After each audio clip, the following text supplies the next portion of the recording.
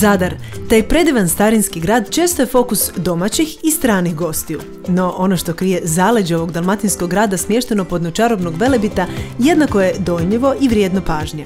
U današnjoj priči upoznaćemo neke od sadržaja koje nudi Nacionalni park Paklenica i njegova okolica.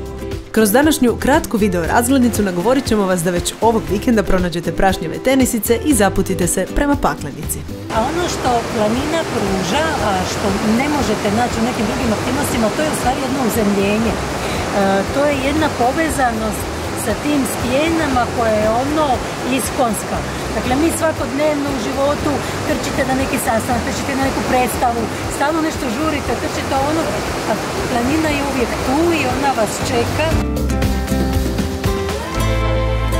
Da, Paklenica je jedna od e, top destinacija što se tiče penjanja, čak i u svijetu.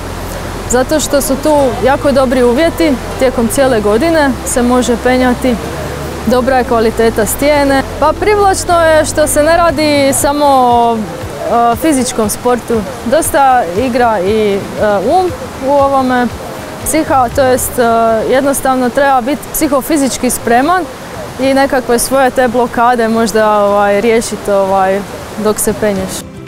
Pješačenje je najbolji način da upoznate ovaj predivan krajolik. Kojim stazama krenuti i čega se paziti najbolje nam mogu pojasniti oni koji park svakodnevno čuvaju.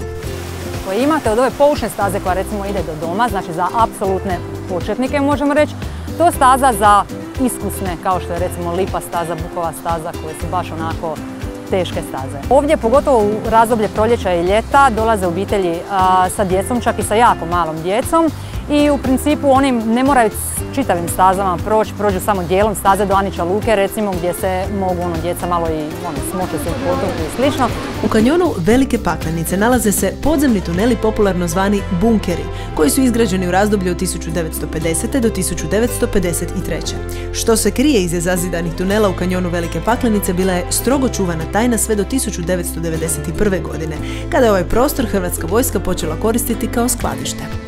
Pa evo, zapravo ne radi se o preuređenom, radi se o opremljenom posjetiteljskom centru Podzemni grad e, Paklenice. Radovi su u tijeku, u završnoj smo fazi. Ja se nadam, ako bude sve u redu, da ćemo za ovu sezonu turističku imati sve, već znači negdje možda u svibnju, da će posjetitelji parka moći uživati u novim sadržajima u ovom objektu. Da, upravo zbog kanjona Velike i Male Paklenice i u pozadini starih borovih šuma ovo područje je proglašeno 1949. godine nacionalnim parkom Paklenica.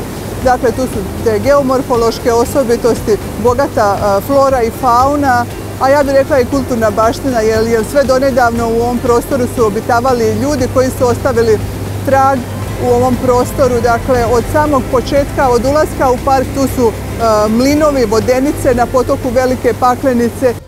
Dok se teška srca spremamo napustiti ovaj predivan kraj i čaroliju koju je priroda ovdje prosula u svom najboljem ruhu, upoznajemo se i s kulturnom baštinom koja se u ovom kraju prenosi s koljena na koljeno. Praktički ne tako davno živjelo se u velebitskim zaseocima, živjelo se uglavnom od stočarstva i nije bilo cesta naravno ni automobila i u vrijeme kad bi neko u obitelji u jednom od zaseoka preminuo, Obitelj je nosila tijelo pokojnika niže dolje niz planinu radi ukopa, a na tom putu koji je, e, nije bio lagan i koji je trajao dosta dugo, e, ljudi su se nosači izmjenjivali u hodu.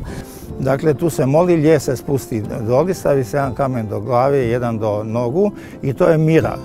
Po tome mi, mislimo da je mirila.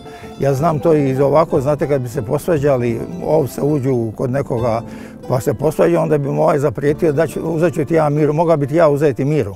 A to znači da bi ga mogao likvidirati. Za sam kraj ostavljamo najslađi dio, doslovno, jer na ovom imanju osim sjajne prirode žive i pčele koje proizvode jednako tako sjajan med. Čujte, imam 40, točnije 38 zajednica, sad one do, negdje dođu do 60-70 tisuća pčela. Dakle, vidite koliko, ja radnika imam, a svi se tuže da nemaju radnika. Šta gosti kažu, šta stranci kažu? Nemaju oni di to doma probati? Oni to nemaju di probati, a pogotovo ne ovo nemaju di probati, ali to vam ne smije reći. Ovo ima meda, baza je lozovača, med i jedan samo, jedan samo lijek. Ne smijemo znati. Ne smijete znati iz više razloga.